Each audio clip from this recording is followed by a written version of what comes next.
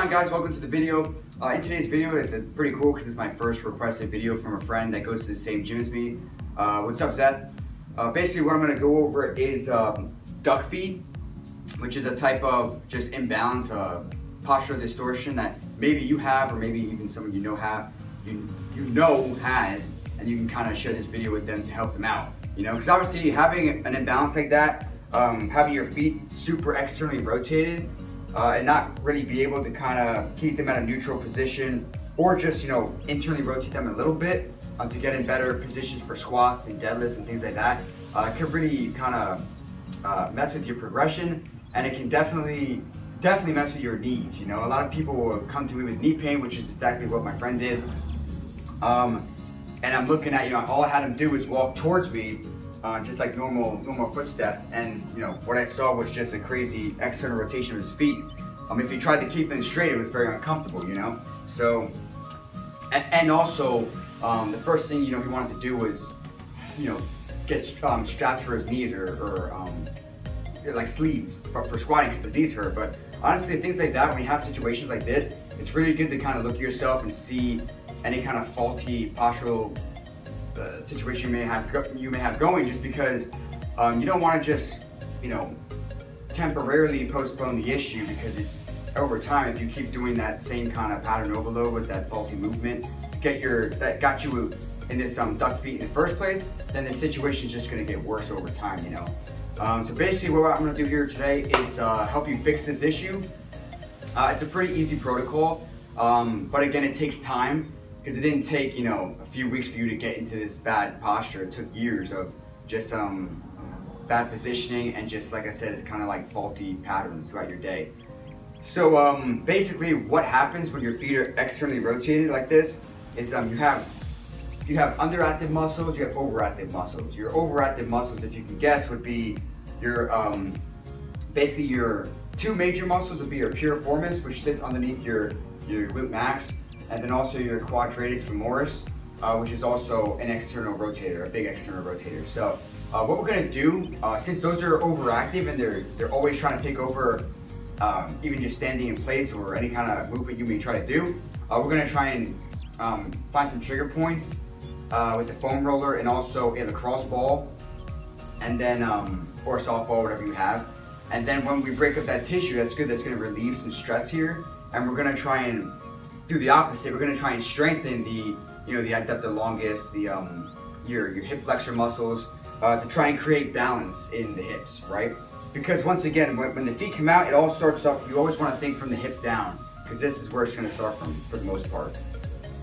Um, and what that's gonna do is again alleviate any knee pain you may have, and it'll help you sit in a better position for your exercises and just walking in general. So number one, uh, we want to clear up and try and break apart some overactive tissue.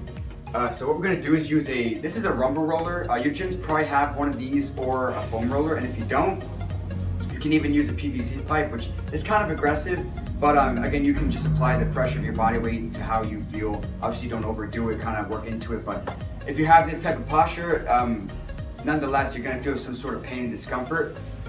But over time, it should kind of die down if you're on a if you do this on a consistent basis. So basically what I'm gonna do, again, the muscles that we're looking to target are kind of like the lower um, side of your butt cheek. So I'm gonna basically just be rolling out these suckers here. Uh, so hopefully you can see me. Again, I'm just gonna get down on it. Oh, yep, yep, yep, okay.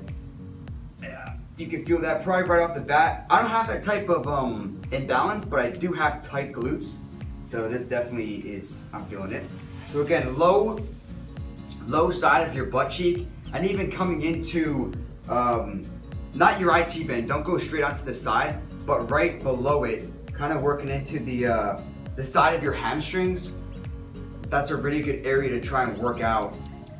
Just because again, all these tissues, all these muscles are connected. So um, we wanna just get those external rotators to kind of uh, stop working so hard, stop being overstressed, you know? So that's number one. Uh, number two, what I would suggest is basically the same thing. Uh, once you kind of um, get blood flow to the area with the foam roller, which is a little less aggressive than a lacrosse ball or softball, then I would take the lacrosse ball um, and then do the same thing. Just apply pressure. Obviously, if it hurts, I don't know the first thing you want to do is jump off of it, but try and get some pressure onto that particular area and um, just work through it. Sit down there for like, you know, two, three minutes and just give it some small movement just to, again, um, break up that, that over overworked tissue, you know? Uh, number two, we're also gonna use a foam roller, or you could use a Swiss ball as well. But uh, what I'm gonna do is this, it's pretty basic. I'm just gonna lay down. I'm gonna put the foam roller between my legs, and all I'm gonna do is try and break this thing. I'm gonna, again, internal rotator, so I'm trying to push my knees in and create a contraction basically on your, not your groin area, but like your inner, inner thighs, you know? And for this, I would recommend like just, honestly, like a minute of just squeezing the foam roller.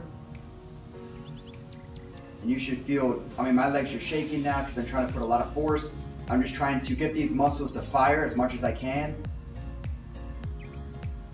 And again, going back to, um, well, I didn't say this earlier, but uh, reciprocal inhibition, right? We basically turned off our external rotators with this phone. Uh, sorry about that, guys. My video shut off because I guess I had uh, limited space in my phone, so I just deleted some photos. But as I was saying um, before, uh, it's called reciprocal inhibition, right? So basically what we did in the beginning was turn off our hip flexors, or not hip flexors, I'm sorry. Uh, turned off our external rotators with the, with the foam roller, and then we, we really activated our uh, internal rotators with the foam roller as well. Um, again, reciprocal inhibition just means if I'm firing these guys, these guys have no choice but the lengthening, so that's exactly what we did. Again, we want to turn off, turn on. Um, yeah, that's basically what I would um, what I would go over.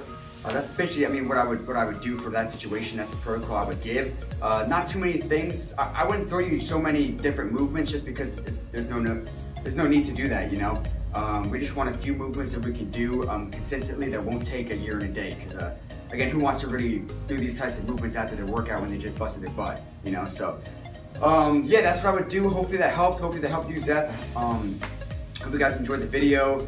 Uh, and again, if you know someone with this type of posture, or maybe their knees hurt, maybe send this to them, um, share with them just so they can, you know, fix themselves, so they can improve their overall performance in the gym, uh, and just keep them injury free now and in the future. Um, yeah, again, I hope you enjoyed the video. If you have any questions, just leave them in the comments below. Um, if you want me to go over a video you may have questions on or anything, um, because I can talk about it, um, demonstrate ways to fix an issue or do an exercise, uh, whatever you need, I'll just I'll put it out there, you know. Um, yeah, so basically, uh, if you're not subscribed already, subscribe to the channel. I do weekly videos, kind of like this, um, workouts that I do myself here. Uh, and also soon I'm going to start training clients and filming them uh, to put them on YouTube so you guys can see what I do with my clients. Uh, but yeah, I hope you enjoyed. Uh, until the next video, guys, I'll catch you later. Peace.